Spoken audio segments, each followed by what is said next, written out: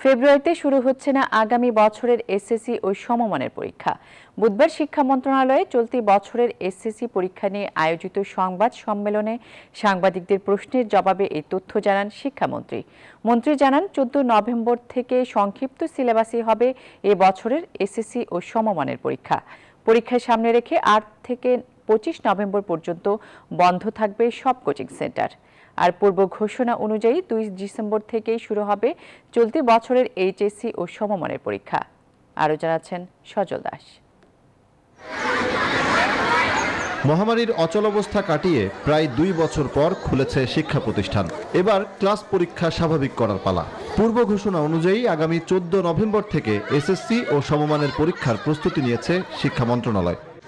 よかった。বুধবার সচিবালয়ে শিক্ষা মন্ত্রণালয়ের সভাকক্ষে এ বিষয়ে সংবাদ সম্মেলন করেন শিক্ষামন্ত্রী ডাক্তার দীপুমণি বলেন, স্বাস্থ্যবিধি মেনে নির্ধারিত সময়ে সংক্ষিপ্ত সিলেবাসেই অনুষ্ঠিত হবে এসএসসি ও সমমানের পরীক্ষা। বৈশ্বিক মহামারী কোভিড উনিশের কারণে স্বাস্থ্যবিধি মেনে এই পরীক্ষা অনুষ্ঠিত হবে। পরীক্ষা শেষের তিরিশ দিনের মধ্যে ইনশাল্লাহ ফলাফল প্রকাশিত হবে। পরীক্ষার্থীদের মধ্যকার সামাজিক দূরত্ব বজায় রাখতে এবছর বিজ্ঞান বিভাগ, মানবিক বিভাগ ব্যবসা শিক্ষা বিভাগের পরীক্ষার্থীদের একই সময়ে পরীক্ষা গ্রহণ না করে ভিন্ন ভিন্ন সময়ে পরীক্ষা গ্রহণ করা হবে। পরীক্ষার সময় এবং নম্বর কমিয়ে আনা হয়েছে।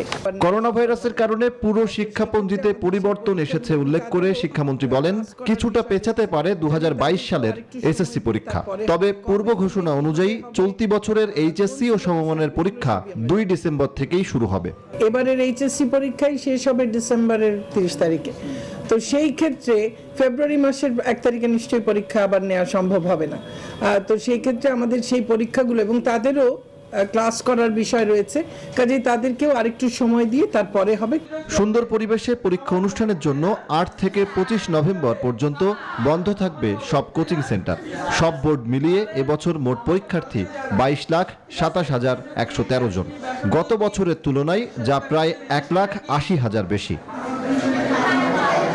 Sajal Das news twenty Dhaka.